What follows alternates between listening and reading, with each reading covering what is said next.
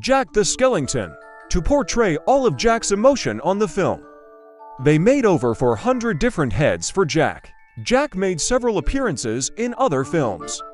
Before his debut in The Nightmare Before Christmas, films like Vincent and Beetlejuice. Also, Jack is very tall standing at a 6 feet 11. Finally, the movie The Nightmare Before Christmas is based on a poem of the same title by Tim Burton in the 1980s.